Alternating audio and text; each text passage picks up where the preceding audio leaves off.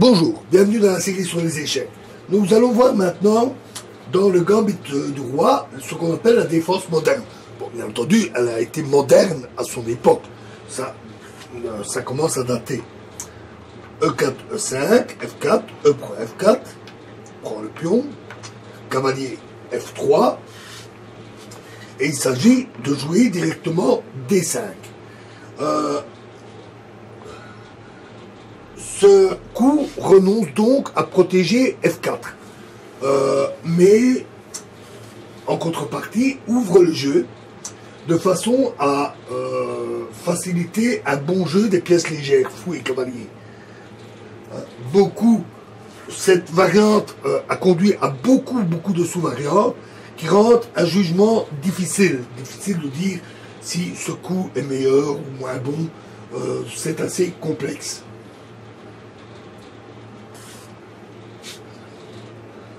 Alors ici, le meilleur coup, c'est E prend D5, parce que E5 euh, n'est pas bon, parce que ça conduit à G5. On embraye dans une variante très favorable de la variante classique. Les noirs étant beaucoup mieux positionnés.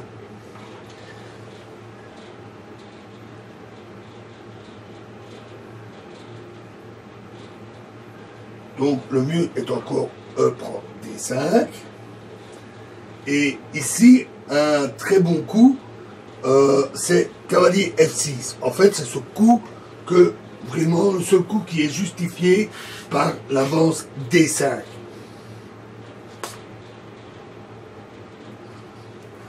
En effet, la prise avec la dame implique la sortie du cavalier C3 qui attaque la dame et coûte un temps de développement au noir.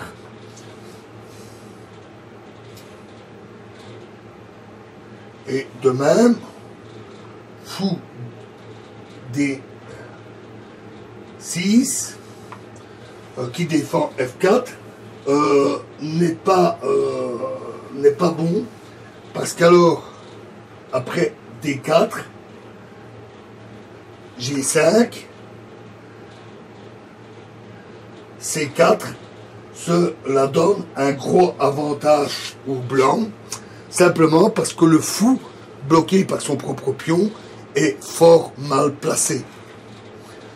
revenons à notre jeu.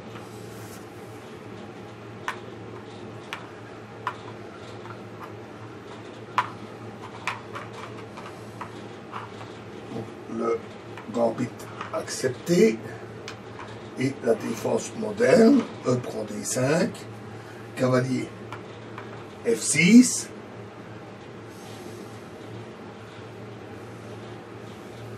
Et euh, donc cavalier F6 est le meilleur. Et là, un très bon coup est C4. Protège le pion central, ouvre aussi sa ligne.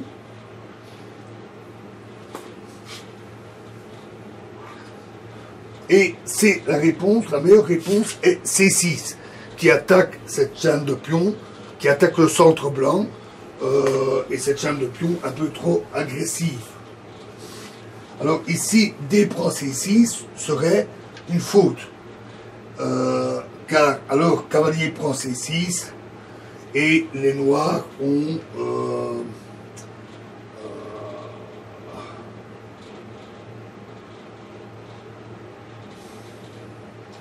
cavalier brossé 6, parce qu'alors D4 et euh, fou G4 donne une très forte attaque au noir. Donc il faut éviter de prendre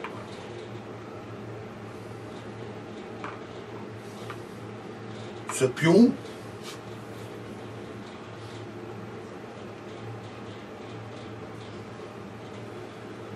et le meilleur coup reste D4.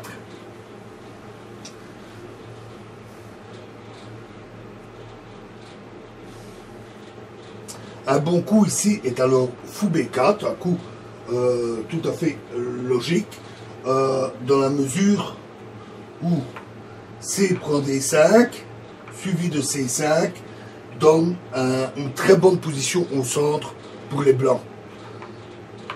et bloque le fou. Donc fou B4, échec. Alors, cavalier C3. C prend, maintenant on peut prendre le pion. C prend D5. Fou prend F4. Prend enfin ce pion euh, d'acceptation du gambit. Rock.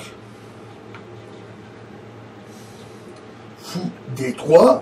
Positionne bien son fou euh, vers le roi noir.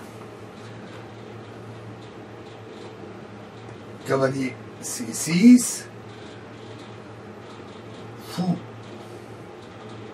E5, une très bonne position pour le fou et un échange évidemment euh, conduire un pion qui chasse le cavalier qui défend le roc. Donc ce ne serait pas une bonne idée de l'échanger.